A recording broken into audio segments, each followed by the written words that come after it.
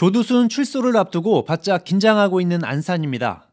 윤하섭 안산시장이 제2의 조두순을 막기 위한 법 제정이 현실화됐다는 소식 전했습니다.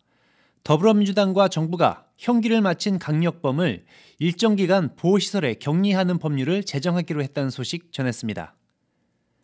당장 조두순 출소에 대비해서는 김창룡 경찰청장과 대책을 논의했다는 소식도 덧붙였습니다. 통합관제센터에서 CCTV 설치 현황과 위치 추적 등 안전 시스템 통합 관리 강화에 대해 조언을 구했다고 합니다.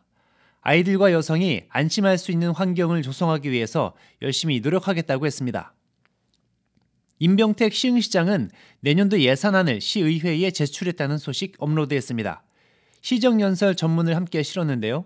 내년은 시민과 함께 위기를 극복하는 한 해가 될 거라면서 희망과 미래를 함께 만들어 가자고 했습니다. 가장 중요한 것은 민생을 살리는 것이라며 경제 살리기와 일자리 창출에 매진하겠다고 밝혔습니다.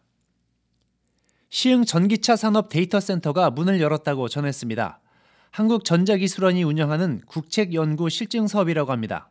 10년 뒤에는 자동차 10대 중에 3대는 전기차가 될 거라면서 이 데이터 센터가 시흥의 관련 기업인들에게 큰 힘이 되도록 돕겠다고 했습니다. 박승원 광명시장은 수상 소식 전했습니다. 재단법인 기후변화센터에서 기후변화 대응을 위해 노력한 광명시에 상을 줬다고 밝혔습니다. 광명시는 기후에너지과를 신설해서 기후변화에 능동적으로 대응하고 있는데 광명에는 미래를 걱정하는 청소년과 시민들이 많다는 걸 깨달았다고 합니다. 미래를 보고 시민과 함께 먼 길을 가겠다고 전했습니다. 지금까지 주간 SNS였습니다.